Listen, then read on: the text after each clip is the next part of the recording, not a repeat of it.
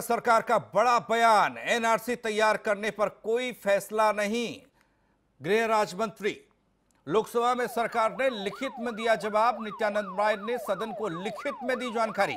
CAA और NRC को लेकर देश भर में हो रहा है विरोध, प्रदर्शन, सवालों का सिलसिला भी थमा नहीं है, प्रदर्शन का सिलसिला भी थमा नहीं है, लेकिन उस बीच देश की संसद से आती है खबर आपको बता रहे हैं सीएए एनआरसी को लेकर देश भर में विरोध के बीच एक खबर जो आप तक पहुंचनी ज़रूरी है। एनआरसी पर केंद्र सरकार का बड़ा बयान आया है।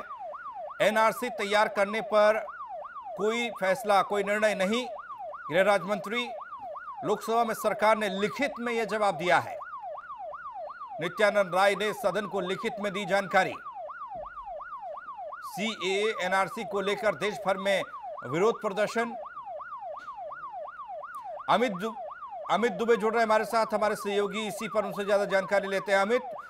एक तरफ़ विरोध प्रदर्शन का दौर अभी थमा नहीं है, सवाल पूछा ही जा रहा दूसरी तरफ़ देश संसद से जो लिखित में जवाब दिया गया है, किस तरीके से देखा जाए?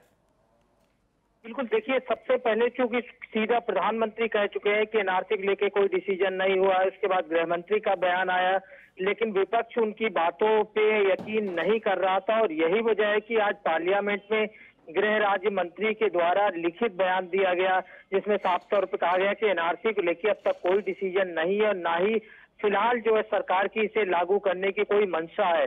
और लेकिन जिस तरह से लगातार एनआरसी और एनआरसी को लेकर खासतौर पर प्रदर्शन देखने को मिल रहे हैं और अब तक कई महीनों से कई जगह प्रदर्शन हो रहा है। दिल्ली की बात करें शाहीन बाग में जिस तरह लगातार प्रदर्शन हो रहा है अब उम्मीद है कि जिस तरह से गृह राज्य मंत्री का लिखित बयान आया है उसके बाद हो सकता है कि इन प्रदर्शनों पे कुछ अंकुश लगे।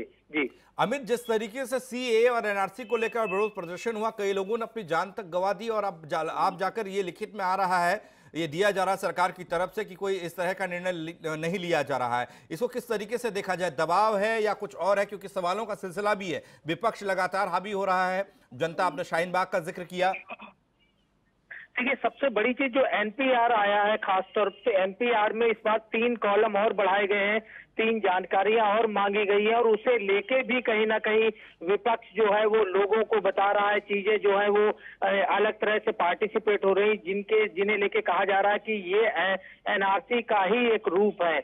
अब चूँकि लिखित बयान आया उसके बाद विपक्ष अपनी भूमिका कैसे निभाता है, ये देखने वाली बात होगी। लेकिन जिस तरह से लोग जो है वो लगातार प्रदर्शन कर रहे हैं, वो भी कहीं ना कहीं सरकार के ऊपर एक प्रेशर कहा जा सकता है। और यही वजह थी कि पहले अमित शाह जो शुरुआती इंटरव्यू थे उनमें लगातार इस बात को कहते थे कि एनआरसी पूरे देश में लागू होगा। लेकिन उसके बाद फिर प्रधानमंत्री का बयान आता है कि एनआरसी का एनपीआर से कोई मतलब नहीं है और एनआरसी देश में लागू नहीं हो रहा और उसके बाद पूरी सरकार का बयान बदल जाता है। तो ज़ाहिर तौर पर कहीं ना कहीं एक विपक्ष का दबाव ज़रूर कहीं ना कहीं सरकार के ऊपर दिखता है कि जिस तरह से गृह मंत्री अमित शाह के बयान को प्रधानमंत्री पलटते और उसके बाद पूरी सरकार एक सुर में नज़र आती है। जी।